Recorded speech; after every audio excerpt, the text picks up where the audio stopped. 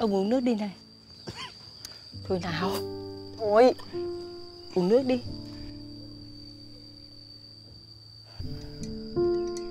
Nhưng tại sao hôm nay tự nhiên lại ra ngắm cây? Hai thằng Hồng có chuyện gì à? Già rồi Cả nghĩ thôi. Tôi chả tin. Ông làm việc gì mà chả có mục đích. Nhận thằng Hồng làm con nuôi Cũng là để nó bao bọc cho thằng Khương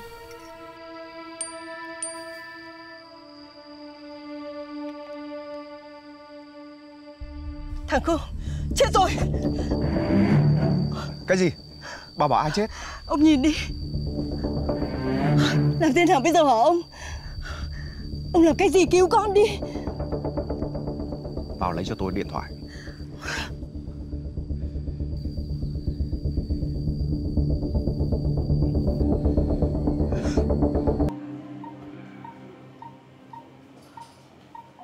Ông, ông tỉnh rồi à Ông thấy trong người thế nào?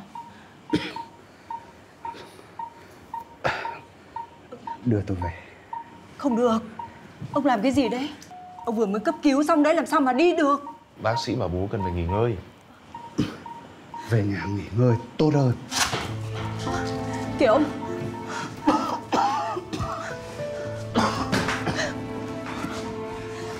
Ông cứ từ từ đã nào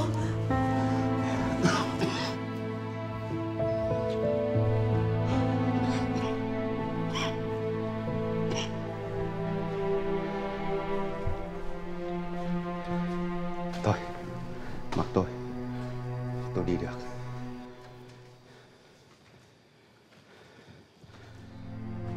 Anh đứng trước cửa phòng giám đốc Toàn Lâm, Chờ cho tôi xong việc. Anh muốn là con của tôi, Một đứa con có danh phận. Tôi chưa bao giờ nghĩ anh lại dám to gan đến như vậy. Chứng tỏ, Sự dạy dỗ khắc nghiệt nhất cũng không có tác dụng gì Với cái sự lì lợm của anh cả. Lúc mà nghe anh nói Tôi tự nhủ Phải đánh thằng này mạnh vào Đánh nhiều hơn nữa. Đánh như kẻ thù à? Không sai.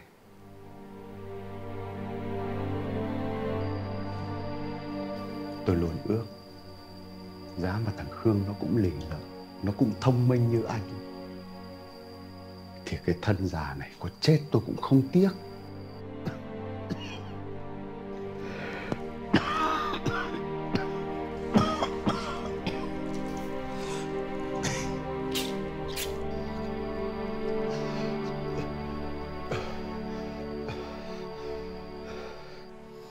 Bệnh của bố.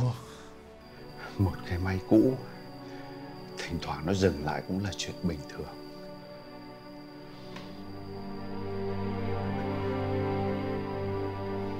Tôi muốn nghe lý do thực sự.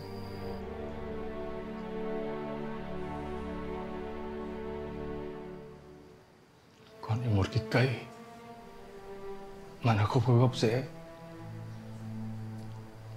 Muốn bám rễ ở đây. Được làm một trai bố. Toàn lâm này là của em Khương, Không phải của con. Mấy chục phần trăm của Vân này Con không nhận được. Con sẽ đến đưa em Khương về.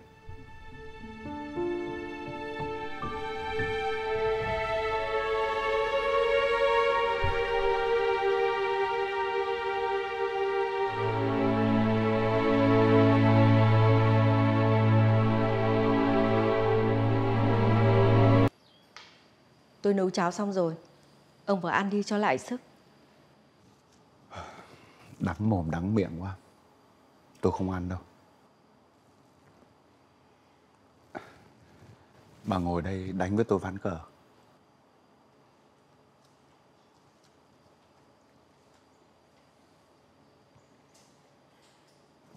Xin mời.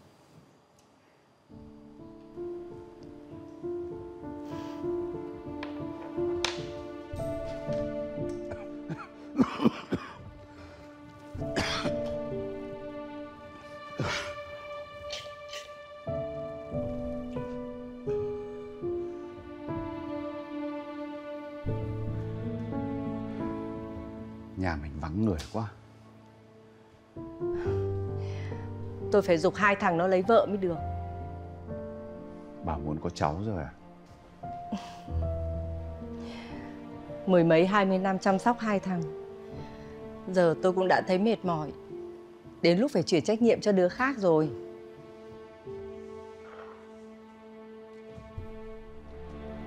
Thằng Hồng nó cũng về đây ngần ấy thời gian rồi Cái hồi bà đem nó về Bà nói nó là cháu họ xa của bà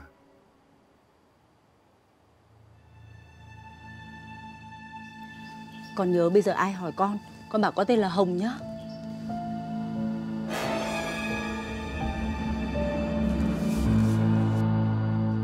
Này là thế nào? Hả? Thằng bé này là ai? Nó nó tên là Hồng. Nó gọi em là Là bà trẻ. Em Em là bà trẻ xa của nó.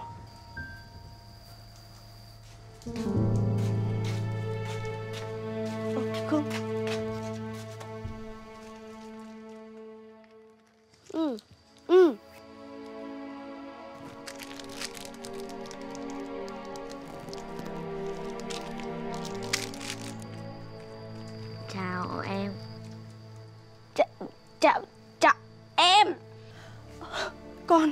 Con biết nói rồi Em tên là gì?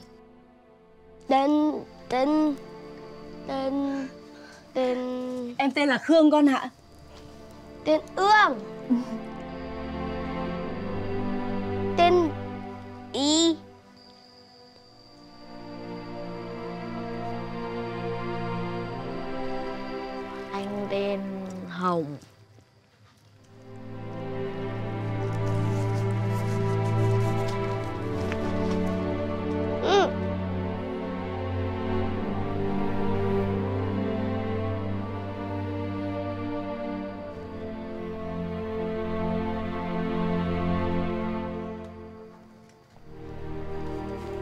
Kìa anh Anh.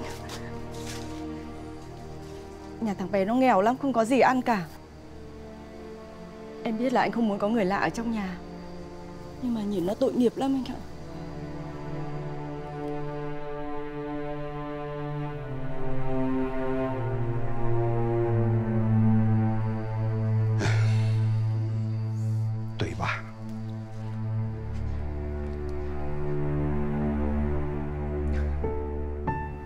Với bà, Tôi cũng đã đi điều tra. Và biết là Bà không có một đứa cháu nào như thế cả.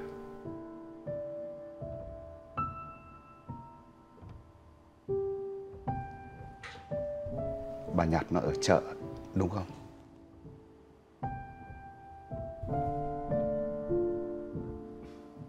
Đừng như thế chứ. Nếu mà muốn mắng mỏi Thì tôi đâu có để đến bây giờ. Tôi biết. Mắt của ông không bỏ qua một hạt bụi nào. Nhưng Hôm đấy Chắc là ma xui quỷ dẫn đường gì đấy mà Bà mới làm thế nhỉ? Chắc nó phải có cái gì đấy đặc biệt Thì bà mới nhặt nó về. Nếu không thì nhà mình đã đầy trẻ con rồi Đúng không? Tôi lấy ông mấy năm mà không có con. Nên thấy đứa trẻ nào tôi cũng thích. Chỉ có điều Thằng Hồng đặc biệt hơn một chút.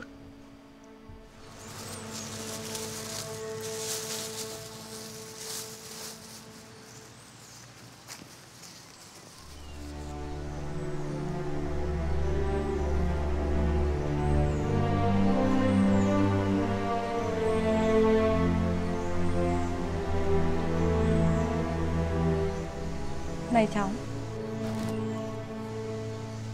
Sao cháu lại ngồi đây? À, à, Kìa.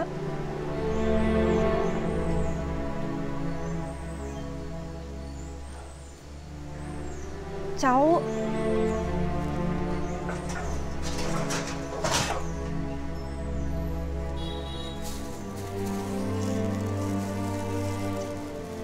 Con có đói không? Ăn xôi này.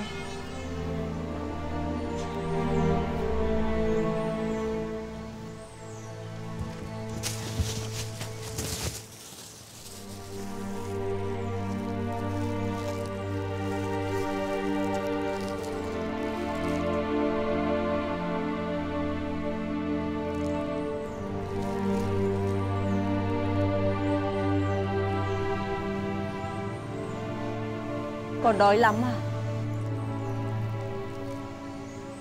Con ăn đi.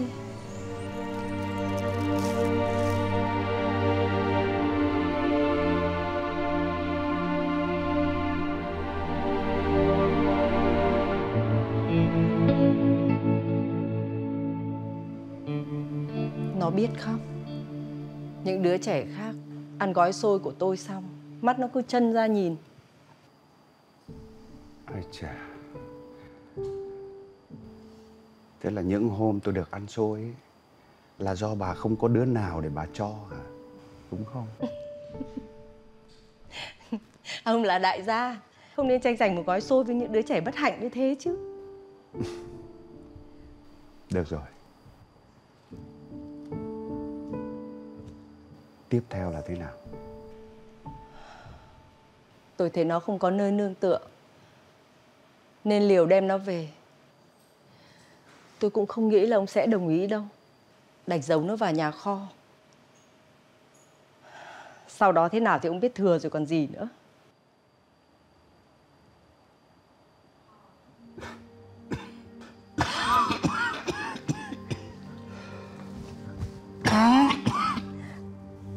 Hay là lên nhà nghỉ nhá. Bà lấy cho tôi cốc nước lọc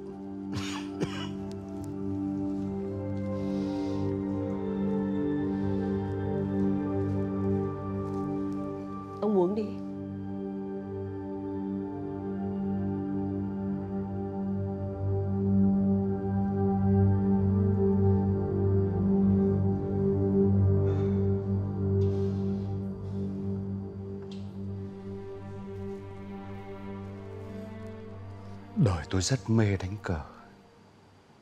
Thích nhất là đi nước pháo. Nhà mình có hai con pháo. Đấy là bà Và thằng Hồng.